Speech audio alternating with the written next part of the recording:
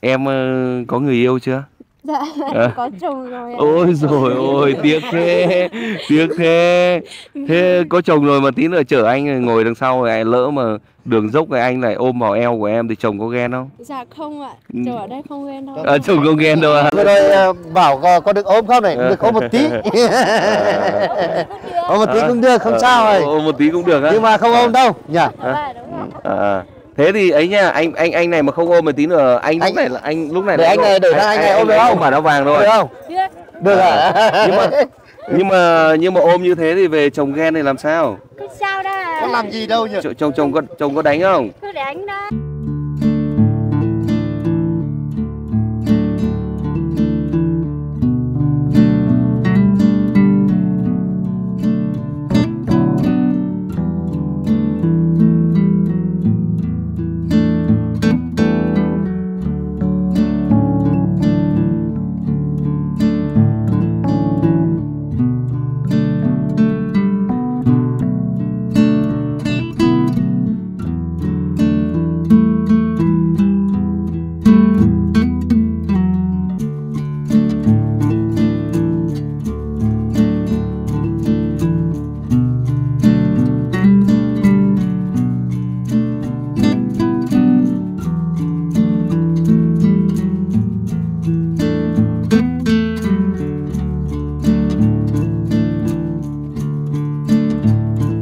Thân mến, à, bây giờ thì Khánh đang đến à, Đồng Văn, Hà Giang. À, bây giờ Khánh mời cả nhà chúng ta sẽ đồng hành cùng với Khánh. Chúng ta sẽ lên à, à, tham quan cột cờ Lũng Cú, nơi cực Bắc của Việt Nam chúng ta, tại tỉnh Hà Giang cả nhà nhé. À, mời quý vị chúng ta sẽ cùng theo dõi ạ. À, Và không biết là đến đây thì chúng ta sẽ phải di chuyển như thế nào để lên được cột cờ đây. Hiện tại thì Khánh đang ở chỗ bãi gửi xe. À, bây giờ mời cả nhà chúng ta cùng theo dõi. Đi.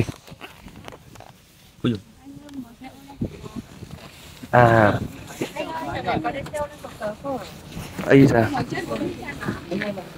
Đi xe ô ổ hồ với em chuyến. sao hả em Đi xe máy ổ hồ với em một chuyến. bị bị bị bị đi xe máy hả Vâng. Một người chỉ có 30 nghìn cả đi cả về số này mới trả tiền. à tức là anh tưởng là lên đến đây là có xe điền để đi Dạ, cũng có xe điện nhưng mà đi xe ô ổ hồ nó vào đi anh. à, đi đi đi đi xe ôm để ủng hộ mọi người ha ôi rồi ôi xin chào mọi người nhá chào chào chào mọi người nhá đấy. Đã có bằng chưa mà đi? Như đã có bằng lái xe chưa? bằng nào? Có bằng. Có bằng đâu? Ờ, ôi rồi Em mới nhưng, chưa. nhưng mà nhưng mà bây giờ có hai người đi có hai người đi mà nhiều người lái xe ôm này thì làm sao mà đi được? Thì anh mới chết thì đi anh Hả? anh mới chết thì đi người đó. hả? Anh mới chết thì đi người đó. ai, ai người trước mời trước đi đi người đó. À? Rồi, đúng rồi anh ạ. Ôi rồi bây giờ biết ai mời trước đây? Thấy mọi người đều mời cùng một Em lúc mời- mà Em mời anh chưa thì. à, ai mà chưa em mới chưa à? À, à. thì à, bây giờ để anh Thế à, anh anh anh kia à, cameraman này, ai chở? À, à, Anh này chở ra mà. à. à. thế anh kia là nhưng mà anh kia nhưng, nhưng mà ai ai ai vừa lái xe ôm vừa làm hướng dẫn viên được nào? Có mà. ai ai ai, ai vừa lái xe ôm vừa hướng dẫn viên được? Em gái đây phải không? Em gái mời anh trước phải không? Hả? Hả thế vừa vừa vừa xe ôm vừa hướng dẫn viên luôn. Tí nữa là anh lại trả thêm tiền hướng dẫn viên nữa. À, đấy. Cười. sao lại cười. Thật luôn đấy. Nào lại đây nào. Em tên là gì? Dạ, em tên là chợ ạ. tên là gì? Chợ ạ. chợ á? Vâng, à chợ chợ tức là chợ. Đúng rồi. à đúng Chợ. chở à Chợ ở ạ, chợ à chợ chợ nặng chợ. Ừ, ừ. em ờ, có người yêu chưa Dạ, À. có chồng rồi ạ. ôi rồi ôi tiếc thế tiếc thế thế có chồng rồi mà tí nữa chở anh ngồi đằng sau rồi lỡ mà đường dốc rồi anh lại ôm vào eo của em thì chồng có ghen không Dạ không ạ, Ừ. chồng ở đây không quen đâu. à, chồng không ghen đâu à thoải mái á thế thì bây giờ chở nhá chở um, chở chở dẫn anh đi ra ngoài xung quanh ờ, mình mình tham quan cái cái cảnh ở đây một tí sau đó là mình sẽ đi lên cột cờ nhá được á ok thì ờ, sẽ thôi thì hai bạn gái luôn ha hai bạn gái mời ờ, mời trước thì tí nữa bạn gái này với bạn gái này chở anh ờ, chở đấy thế còn một một anh nữa là chở cameraman nhá ok đấy nhưng mà trước khi đi thì ờ, chúng ta ra ngoài này chúng ta tham quan một tí đã Vâng ạ. Ừ, ok. Mời cả nhà chúng ta sẽ cùng đồng hành với Khánh cùng với anh Nguyễn Nhật Bắc và những em gái ở đây chúng ta sẽ đi tham quan ở khu vực đây một chút là cả nhà nhé. Em chợ ơi, em chợ. Dạ. giới thiệu cho anh tí à à đầu tiên là giới thiệu với cả nhà là đây chính là điểm dừng chân khi mà à, điểm dừng chân du lịch Lũng Cú. À, khi mà quý vị chúng ta lên đây nếu mà chúng ta đi xe riêng đấy thì chúng ta sẽ vào đây để chúng ta gửi xe hoặc là đi theo đoàn thì ờ, xe du lịch cũng sẽ vào đây để đỗ. Và sau đó thì sẽ di chuyển từ điểm dừng chân này lên ờ, cột cờ Lũng Cú bằng hai cách cách thứ nhất đó là quý vị chúng ta có thể là đi ờ, xe ôm ờ, của những người dân địa phương ở đây ờ, chở chúng ta lên và giá xe ôm là bao nhiêu tiền chợ nhỉ? Dạ mọi người chỉ 30 nghìn cả đi cả về số đây mới trả tiền anh ạ. À mỗi Xe người cũng giá thế ạ. ừ, mỗi người chỉ là 30.000 thôi. Và Đó. Và xe điện cũng thế, mỗi người 30.000. Đó xe điện thì như thế như kia cả nhà. Đấy, tuy nhiên thì ngày hôm nay à, Khánh sẽ lựa chọn là nhưng mà đi xe máy là lạnh lắm. Dạ đi xe máy với xe điện cũng như thế và À cũng như thế. Thôi đi để ủng hộ. Đúng Hai rồi. em. Thế là đi à, mình sẽ chúng ta sẽ đi xem xe xe xe xe máy để ủng hộ các em. đi xe điện thì nó À, thích hơn nhưng mà đi xe máy để ủng hộ nhá. Đúng đúng rồi. À, bây giờ thì à, trước khi mà đi thì những cái chỗ này anh muốn tham quan một chút họ bày bày bán cái gì đó em? dạ họ Các cái nông sản vùng cao đây đúng không? đúng rồi anh ạ. À à. Ừm, ok. Anh bác có muốn vào tham quan một chút không? Hay thôi, Mình đi luôn đi. mình đi luôn ha. Ok, thế thì ờ, lấy xe chở anh đi luôn chợ nhà. Vâng ạ. Ừ. Xe của em ở đâu? Canada ơi.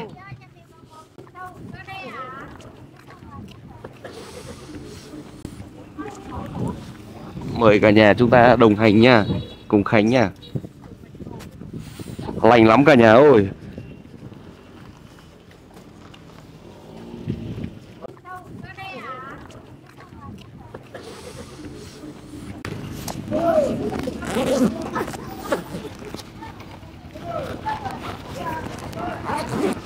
À đây rồi á. À, xe máy đây rồi á. Đi chậm chậm nhá. Em đi đây? đi đi chậm. Bây giờ đi hướng nào em? À đi hướng này á. À. Xe lạnh lạnh lạnh quá. Em này xinh thế. Dạ. Em này xinh thế. Sinh bởi vì là à ok rồi bây giờ chúng ta đi thôi cả nhà ơi.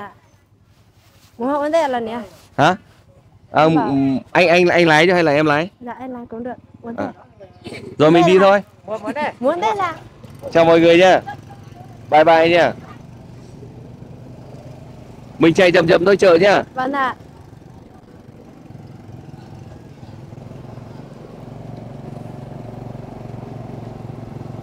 Anh ở đâu đấy hả anh? Anh à, anh ở, ở trong miền Trung ấy. Trong miền Trung ạ. Ừ, em có biết Hà Tĩnh không? Dạ nghe qua thôi chưa đến anh ạ. Hả? À, à đấy camera nhớ quay nhá. Đấy à, bây giờ ngồi sau này có được ôm không? Dạ được mà. Hả? Dạ được ạ. À có được ôm á? Vâng ạ. À, nếu mà lạnh thì cứ ôm thoải mái đúng không? Vâng ạ. Ừ. À ở đây còn có cả chợ nữa cả nhà này. Vâng, hôm nay thứ sáu là chợ anh ạ. Hả? Tuần nào tuần nào thứ sáu cũng là chợ ạ. À, thứ sáu tuần nào cũng họp chợ hả? Vâng. À. Ôi dồi ôi lạnh quá trời ơi. Trên này lạnh trên lắm cả nhà. Bây giờ lạnh rồi ạ. Hả? Bây giờ trên này lạnh rồi anh ạ. À. Mỗi ờ, mỗi một ngày ờ, em chở được bao nhiêu chuyến khách? Dạ nếu được đông thì một ngày em cũng chạy được mười mấy chiếu còn không đông thì một ngày em chỉ chạy được hai ba chuyến thôi ạ. À, nếu mà hôm nào mà đông khách thì cũng chạy được mười mấy chuyến á. Đúng rồi anh ạ. À, mười mấy chuyến là mình cũng kiếm được khoảng tầm ba bốn trăm ngàn gì đấy ha. Vâng. À. Thế những ngày mà không có khách, những ngày mưa khách không lên trên này thì mình làm công việc gì? Dạ mình chỉ đi chặt củi với lại đi làm nương thôi anh ạ. Mình đi làm gì? Mình đi làm nương với lại đi chặt củi ạ. À, đi làm nương với đi chặt củi á. Đúng rồi anh ạ. À, à.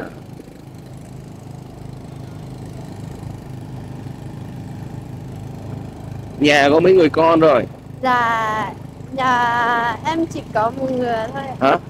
Em chỉ có một người con thôi anh ạ. À, mới đẻ được một đứa thôi á. Vâng ạ. À, em nhiều tuổi chưa? Dạ em năm nay em 20 tuổi ạ. 20 tuổi hả? Vâng. À. Thế ý định mà đẻ mấy người ấy? Mẹ đẻ được mấy đứa, ý định sẽ đẻ Dạ. mấy đứa con? Tình để hai đứa thôi anh ạ. Định đẻ hai đứa thôi hả? Vâng ạ. À, đúng rồi, mình đẻ đẻ vừa thôi. để, Để- nhiều cũng không nuôi được ấy. đúng rồi để nhiều không không không không có điều kiện để mình nuôi được Đúng được tốt đấy ạ. Ở trên này làm ờ, nương rẫy ờ, vất vả thì thu nhập về hạn chế thấp cho nên là mình để ít thôi nhá. Vâng ạ.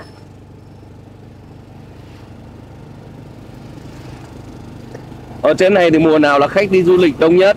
Dạ mùa tháng 9 có hoa tam giác mạch anh ạ. À mùa tháng 9 có hoa tam giác mạch là họ đi đông đi đi nhiều nhất á? Đúng rồi anh ạ. À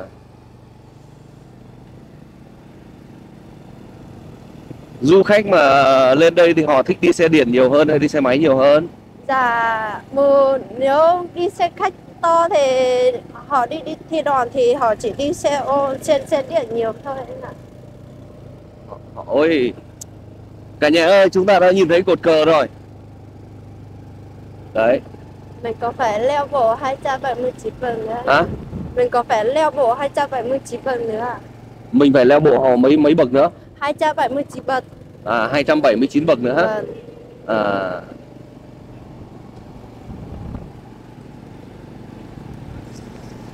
À. Ui dồi ôi lạnh quá. Lạnh lắm. Ai chà chà chà chà Lạnh quá lạnh quá. Rồi cảm cảm ơn em nhiều nhá. Vâng ạ. Thế mà bây giờ em ở dưới này hay là em em em anh lấy số điện thoại của em tí nữa anh số anh gọi em ạ. à à em xin ạ rồi rồi Tức là tí nữa gọi cho bạn này là được hay là sao? dạ anh gọi cho một người cũng được À gọi cho một người là được đúng không? Ờ ờ, rồi. Chút nữa xuống là anh anh gọi để lại đón anh nhá. vâng Ok. Có số chưa? Đâu? chưa đếm ạ tám tám bảy tám đúng Sao xinh thế? Sao xinh thế? Thế anh bác có muốn chụp ảnh với bạn này không? Chụp này chụp. Hả? Đấy chụp luôn đi, chụp luôn không tí nữa. Vừa rồi à, bảo có, được ôm không này? Được ôm một tí. ôm một tí cũng được, không sao rồi. Ôm một tí cũng được á. Nhưng mà không ôm đâu. Nhỉ? À, thế thì ấy nha, anh anh anh này mà không ôm một tí nữa, anh lúc Anh- này là anh lúc này Để anh này, để ôm- anh này ôm được không? Bản áo vàng rồi. Được không? Được à? nhưng mà nhưng mà nhưng mà ôm như thế thì về chồng ghen thì làm sao Cứ sao đó Có làm gì đâu nhỉ? Ch- chồng chồng có chồng có đánh không? Cứ đánh đâu. Thiệt không? Vâng, thế thì thế thì trước khi ôm thì cho chụp tấm ảnh đã được không? Được. Sao? Chụp tấm ảnh không Chụp chụp. chụp không đau đâu. Tí nữa xuống gọi nhá. Tí nữa xuống gọi ba ba chị em nhá. Ok. À, bây giờ thì chúng ta đã bắt đầu đến chân cột cờ rồi cả nhà nhé à, chúng ta sẽ ờ, không biết là phải mua vé không nhỉ? À có à. Bây giờ à. Được. Bây giờ chúng ta sẽ lại mua vé cả nhà nhé. Đây là cái nơi để chúng ta mua vé khi mà lên ờ, tham quan cột cờ Lũng Cú này. Mua vé. Cho ba vé. Hello, xin chào ờ, những người đẹp nhé. Vâng, chào em.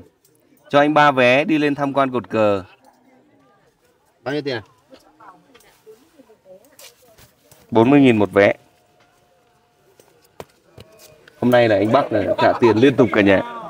Anh Bắc nhỉ? Ừ. Hôm nay là Toàn trả cả tiền lẻ thôi. toàn trả toàn trả liên tục rồi Toàn trả đây, đây lẻ là khi mà chúng ta lên tham quan cột cờ Lũng Cú là chúng ta sẽ mua vé mỗi người là 40 ngàn cả nhà nhé tiền ờ, đi xe ôm hoặc là xe điện lên ờ, trên chân cột cờ này 30 nghìn nữa là thành 70 nghìn hả À, 70 nghìn.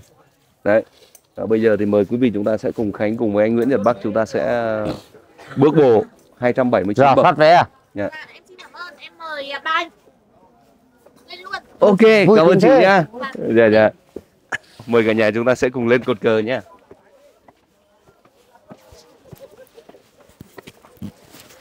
Nhắc đến Hà Giang thì ờ, nói đến cột cờ Lũng Cú thì có lẽ là ai chúng ta cũng đã từng nghe đến rồi. Tuy nhiên thì để một lần mà chúng ta được lên nơi mà rất là xa và cũng có thể đây cũng được gọi là một cái nơi là rất là linh thiêng của Tổ quốc đúng không anh? Nơi mà cực bắc của Việt Nam, nơi Giáp- là một cái biên giới. một cái mốc son để đánh dấu chủ quyền của lãnh thổ Việt Nam chúng ta. À, và có cơ hội để chúng ta lên đây để chiêm ngưỡng cột cờ. Đó là một cái điều có thể là cũng rất là may mắn trong cái cuộc đời của mình. Bởi không phải là ai cũng có cơ hội để lên được trên này đúng không anh Bắc? Đúng rồi. Người ở ngoài Bắc này thì có thể là ở gần có thể họ đến được nhưng mà người ở miền Trung và miền Nam thì cơ hội đến rất là khó. Ừ. Thì quãng đường di chuyển rất là xa. Như vậy là chúng ta đã lên đến đỉnh. Chúng ta đã lên đến nơi rồi. Chúng ta đã đến nơi rồi cả nhà nhé. Cột cờ quốc gia Lũng Cú huyện Đồng Văn tỉnh Hà Giang. À, cột cờ được à, qua nhiều năm, qua nhiều lần phục dựng thì hiện tại cái cột cờ này là được khánh thành vào năm uh, 2010 ừ.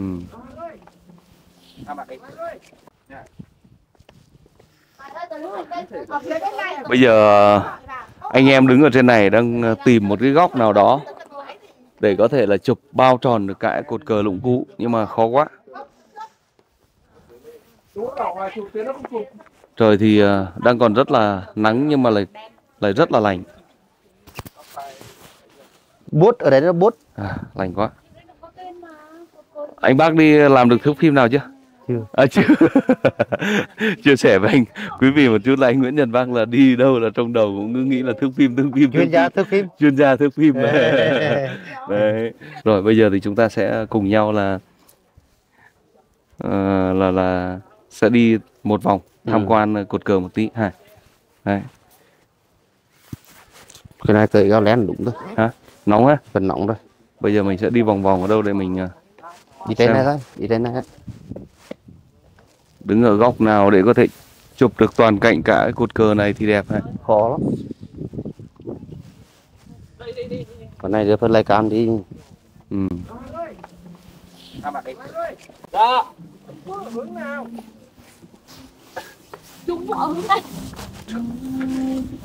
Thank you anh.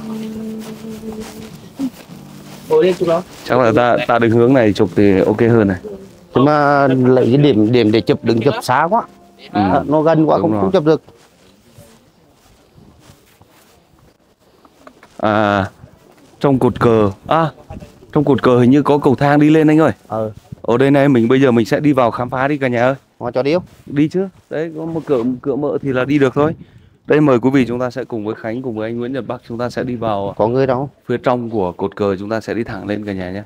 Thấy người đi ra thì chắc chắn là được đi đúng không thì sẽ được đi À, được cầu thang đây đây ở trong ờ, trong trong lòng của cột cờ thì có một cái cầu thang để đi lên cả nhà đây. chúng ta sẽ cùng ờ, đi lên ở phía trên chúng ta cùng ờ, ngắm cảnh đất nước Việt Nam chúng ta cũng như là Hà Giang cả nhà nhé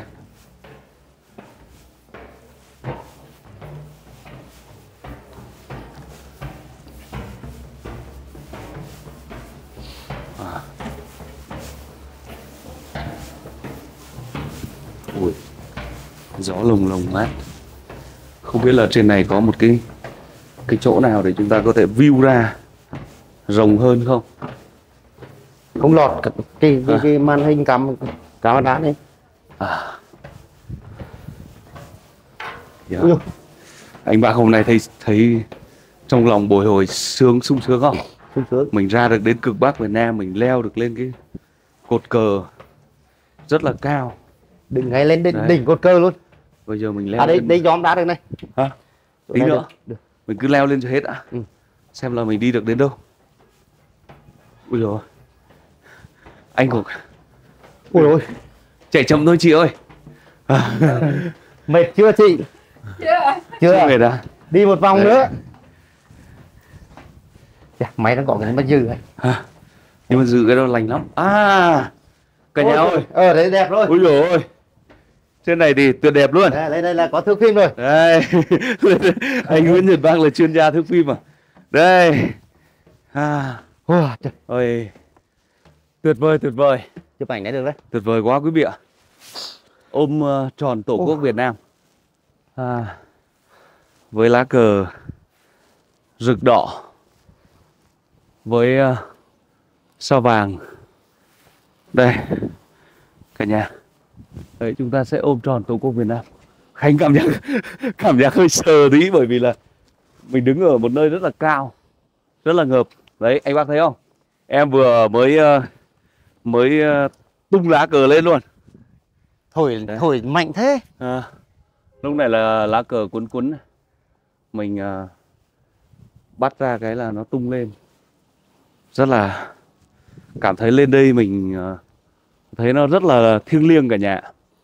Lâu nay thì cũng thỉnh thoảng những ngày lễ thì ờ, thấy cả nhà mọi người cũng treo cờ này cũng cũng đã thấy là linh thiêng rồi, cũng cảm thấy là trân trọng rồi nhưng mà bây giờ đứng ở nơi cực Bắc Việt Nam và được cầm cái lá cờ Tổ quốc như thế này trong lòng Khánh ờ, rất là nhiều cảm xúc cả nhà.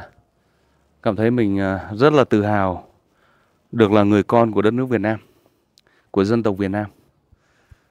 Và càng tự hào hơn nữa khi mà Việt Nam chúng ta lại có một một à, một một một vùng đất vô cùng tuyệt đẹp như Hà Giang như thế này với ờ, những cái đồi núi đá rất là tuyệt đẹp như chúng ta đi qua Mã Pì Lèng hay là ở khu vực bên chỗ uh, Mèo Vạc và nhiều nơi khác nữa. Đấy, và bây giờ chúng ta đứng trên uh, cột cờ thì chúng ta có thể nhìn toàn cảnh uh, xung quanh những ngôi làng. Đấy quý vị. Đấy và cái chỗ cực Bắc. Cái chỗ Chỗ- cực Bắc là phía bên kia. chỗ kia giống như cửa khẩu đúng nhỉ Chỗ đó, ừ. hay là cái trời cửa khẩu đúng không chỗ đó, chỗ đó chắc là cơ quan hành chính này. cơ quan hành chính của cửa khẩu sáng đấy Hả? cái đường ấy chắc là đường sang Trung Quốc đúng không Sợ quá. Cờ bay phập phới anh Bắc. Anh Bắc vừa lại đứng ở chỗ này cái là cờ càng bay mạnh hơn bay phất phợi luôn ờ, Đúng, chứng tỏ là đâu đó có thể là anh đang ờ, sẽ có được nhiều điều may mắn trong cái thời gian tới khi mà lên đứng ở trên đỉnh cột cờ này. Và từ lúc nãy giờ thì anh em chúng ta đã thầm cầu nguyện cho Tổ quốc Việt Nam, cho dân tộc Việt Nam chúng ta sẽ ngày càng hùng cường hơn, càng giàu mạnh hơn để cho mỗi một người dân của đất nước Việt Nam chúng ta có được và nhiều cái điều tốt đẹp hơn trong cuộc sống, đúng không? Đấy, bằng cái sự thể hiện cái sự ờ, khác biệt đó là lúc nãy thì lá cờ nó nghỉ ngơi một chút nhưng bây giờ lại nó tung bay bay phất phới lên. Đó. Ừ. cảm xúc của anh Bắc như thế nào khi mà lần đầu tiên được đến với Hà Giang và lại được lên nơi địa đầu của Tổ quốc như thế này?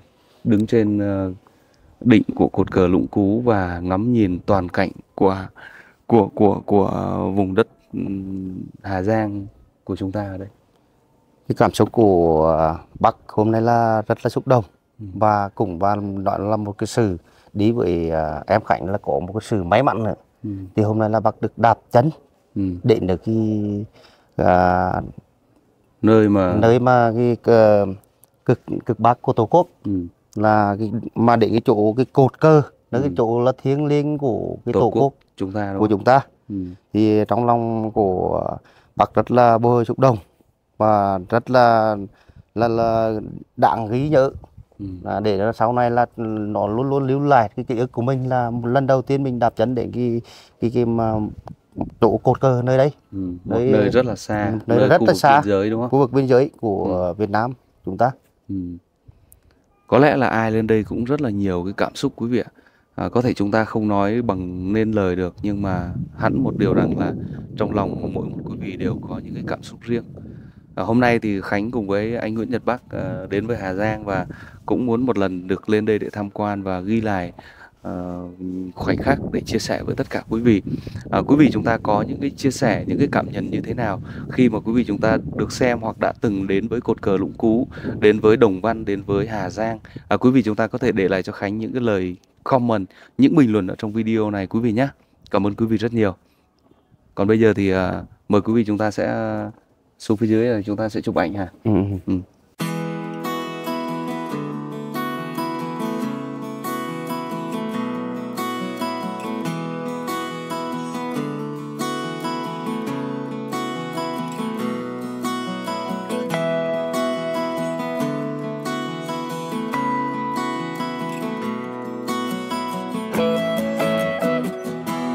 Từ lúc nãy giờ thì chúng ta đã tham quan ờ, phía trên của cột cờ Lũng Cú xong rồi cả nhà nhé.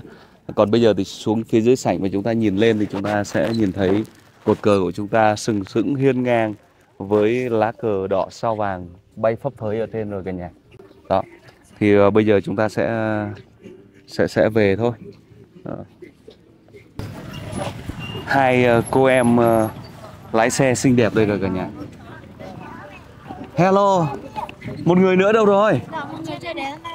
Hả? Một người chưa lên ạ. Một người chưa lên à? Vâng. Thế chờ một người nữa hả? Vâng. Lúc này phỏng vấn em rồi, bây giờ phỏng vấn em này tí. Chào em. Thế sao lái xe mà không thu tiền trước, lỡ lúc mà các em chở anh lên đây rồi tí nữa xuống anh lại lại không gọi các em mà anh anh anh anh, anh về luôn thì có phải là mất tiền không? Đúng rồi. Hả? Đúng rồi. Ờ, đúng rồi. Ờ, Nếu mình lấy tiền trước thì tí nữa ờ, khách gọi nếu ví dụ không trả lời được thì khách là mất tiền. à, em em em em em em gái này nó bảo là nếu mà mình mà thu tiền trước ấy, tí nữa mình mà xuống ấy, khách mà xuống ấy mà khách gọi không được ấy thì khách lại mất tiền á. Đúng rồi. anh. Thì khách mất tiền nhưng mà mình được tiền. Hả? Khách mất tiền nhưng mà mình, mình mình phải uy tín thì ờ, khách mới đi với mình chứ. À, like, mình phải uy tín chứ em à. Vâng. Rất là dễ thương cả nhà khi mà lên đây à, được các bạn à, lái xe chở xe máy chúng ta lên để tham quan cột cờ đấy, 30.000 thôi nhưng mà không cần phải trả tiền trước. Khi nào đi xuống đến nơi mới thu tiền. Vâng. Ha. Vâng. Đấy. vâng. Ok, cảm ơn các em rất nhiều. Bây giờ gọi cái bạn kia nữa đi. Xong rồi là để chúng ta xuống. Vâng ạ. Ừ. Kia chưa lấy nào Mọi người chưa lên ạ. Anh bác ơi, Thì bác đi xuống Hả? thì bảo anh kia lên. ôi em em số điện thoại à Không có. không có số điện thoại à? À, Hay là bây giờ mình chở ba xuống đi? vâng, chào bác người. Chở chở, chở ba được không? Được mà. Được mà. Chở ba được không? Được. Được á? Vâng. Thế thì cameraman lên để anh ngồi rửa cho.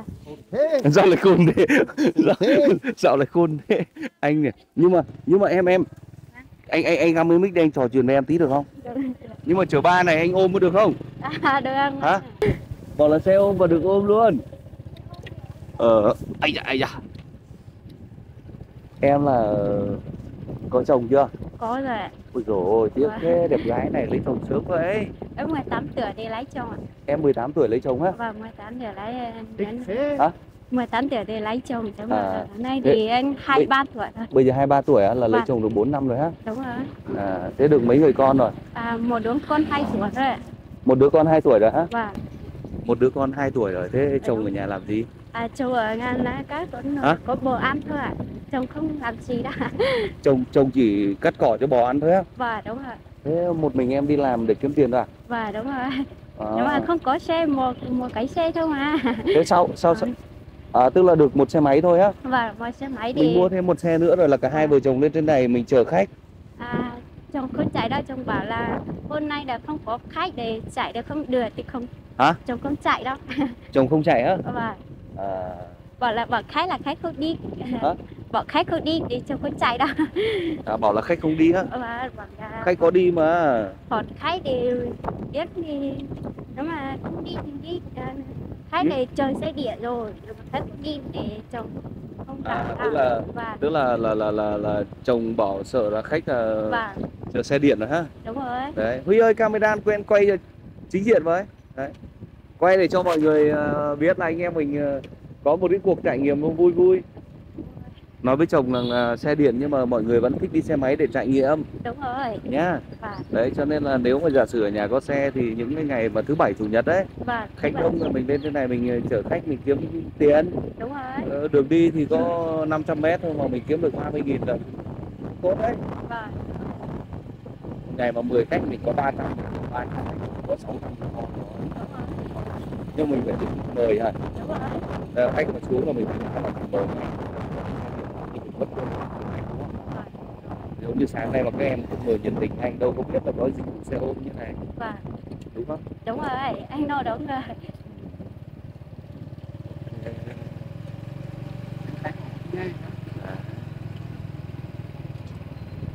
đâu đâu đâu đâu. rồi xuống rồi. Ok. Ok